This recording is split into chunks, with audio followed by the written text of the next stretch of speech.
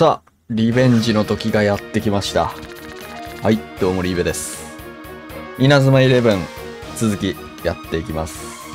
デウス抽選との最終決戦のリベンジマッチになってます。はい、勝ちます。チームレベルを40にしてきました。前回よりは多分5レベルぐらいは上がっているはずですと。前半は、00で良くないそんなことない。ここでセリアで勝てれば、OK。一発シュートを打つか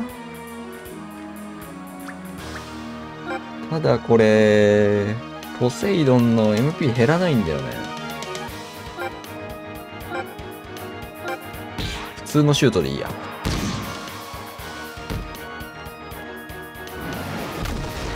ギガントボールと津波ボール持ってるんだよね。はいはいはい。いや、これ鉄壁すぎるな本当はゴリラのツインブーストでぶち殴ればいけるかもしれないっていう状況になってるから音量通る。通ったぞ。いやこれツインブーストで入んなかったら結構きついんだよね。取れ。いや無理か。どうだ？うーん。大丈夫。ここにスーパースキャンあり。よしよしよし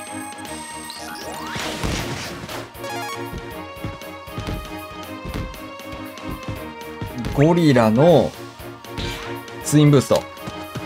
これ入ってくれないかな？これが現状一番強い技なんだよ。いやこれきついかな。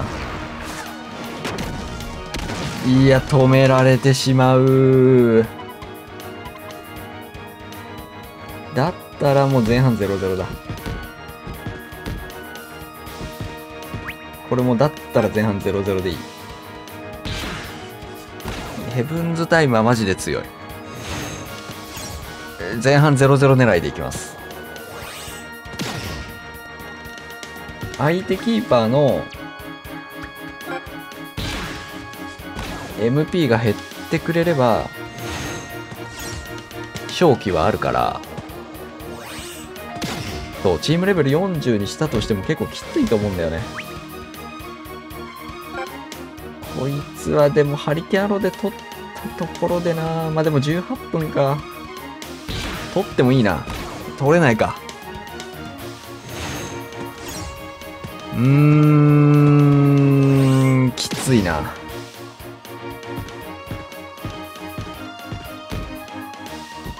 あラッキーだ。ただこいつはヘブンズタイム持ってるよね。俺は急いで戻るべきだ。やべえな。でもヘブンズタイム止めれないときついな。いやこれいける？いや勝てねえ。技の威力が強すぎる。ただ時間はだいぶ取らせてる。あでもこいつのシュートだったらゴッドハンドでいいんじゃねとは思うけどここ魔人使うわ。うわー普通のシュートだった。ゴッドハンドでよかったなマジで。ただこれ何が起きるかっていうと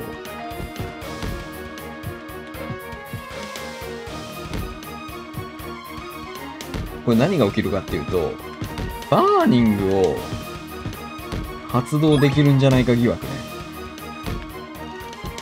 ヒーローがシュート打った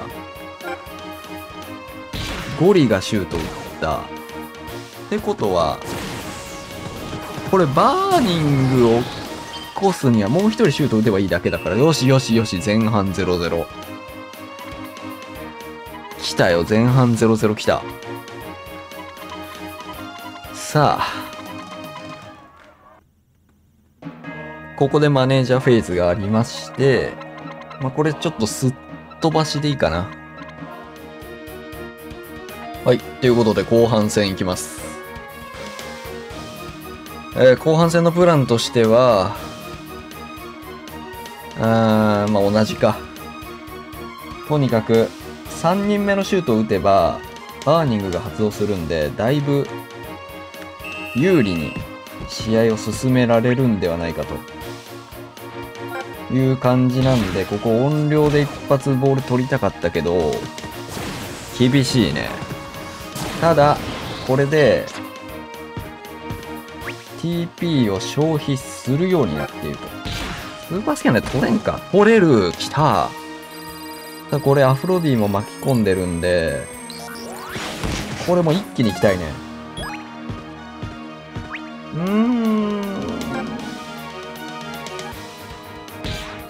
プダッシュ。オッケーオッケーオッケーオッケー。いや、ナイスだ。いやー、これ突破したい。ゴリ夢中で突破できる。来た。いや、もう一人か。オッケー。これバーニングいけるな。3人目のシュートを放てば、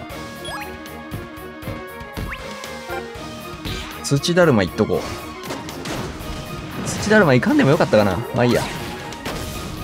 これバーニング出るよね。津波ウォールはさすがに突破できないとは思うけど。よし、バーニングが来た。いや、これはスーパーアルマジロ。無理か。そのままシュート打てたかもなただ、TP 消費してるんで。しかもここで、さばきの鉄槌はクソ強え。オッケーオッケーオッケーオッケー。いや、ここでボール取りたいな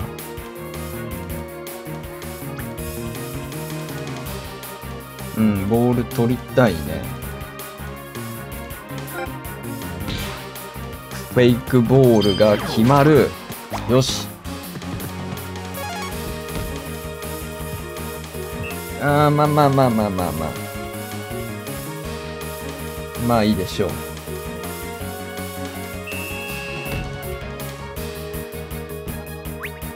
これボール取れるんじゃね四股踏みでボールを取る。来た。そして、ツインブースト。これは、バーニング状態だから、消費 TP 半分の強力なシュート技。どうだ？よしし !1 点取ったぞ。来た来た来た来た来た来た。しかも後半20分。遠藤の、あれもいけるだろう。これ土だるまのあいつは、そうだね。えーっと、交代しようか。誰がいいかな近藤でもいいか。あ、塚崎にしよう。ディフェンス能力が高い。塚崎、一気に上がって、バーニング状態、後ろの正面。勝てない。大丈夫、大丈夫、大丈夫。大丈夫よ。さあ、クイックドローは、これはヘブンズタイムに勝てね。ただ TP 消費してるから、ハリケーンアローだったら勝てると思ってるけどな。無理か。うーん。だからこいつはもうあと1回しか使えないでしょ行くしかねえ。オッケーオッケーオッケーオッケー。いやー、もうヘブンズタイムやばすぎ。ヘブンズタイムゲーになってる。これをなんとかしないといけない。よしよしよしよしよし。いや、もう時間ないな。後ろの正面。決まっていく。よし。しかしファールを取られる。うん。まあ。もう全員戻っていいんじゃない？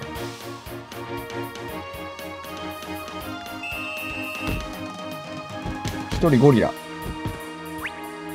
後ろの正面で、続いて、これ試合終了じゃじゃない？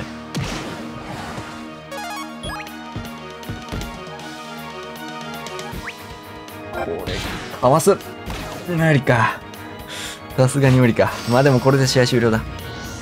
よしよしよし、勝ったなすごい地味だったけど。よーし。勝ちました。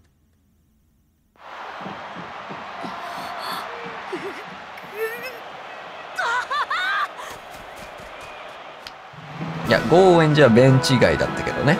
やったな ゴーエンジはベンチ外でしたけど。ここほんとゴリラ枠だよ。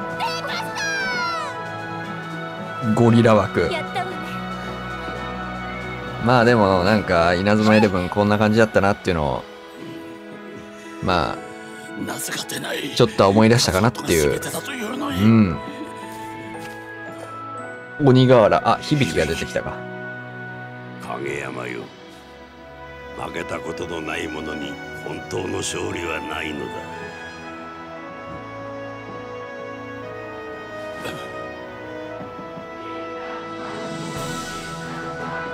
稲妻大コール。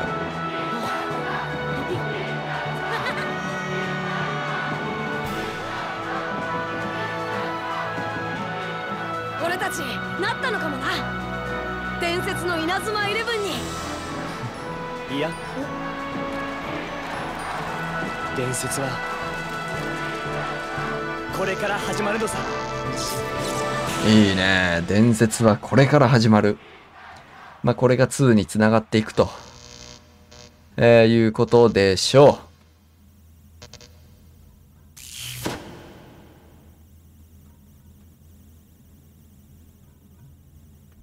さあ神曲のエンディングです。純情青春ラブと。えー、いうことでクリアしましたね。いやー。ほぼほぼモブキャラのみでまあキーパーは遠藤だったけど大体そうよね。まあ使ったのって起動もほとんど使ってないしさ。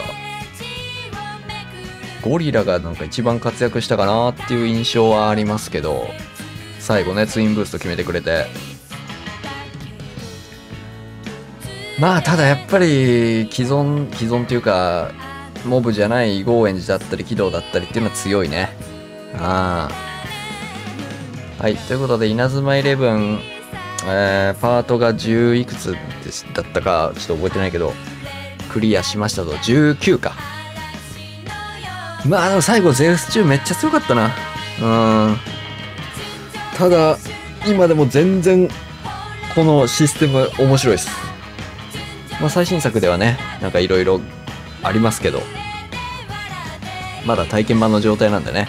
はい、まあ、本編が出ればあの本編のストーリーの方もやっていきたいと思ってるんで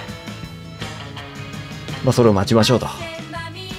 でまあ稲妻イレブン2の実況3の実況ってやっていくかっていうところがまあどうしようかなっていうところはあるんでまあ一旦えー、稲妻イレブン1で、えーは完結ということになりますと。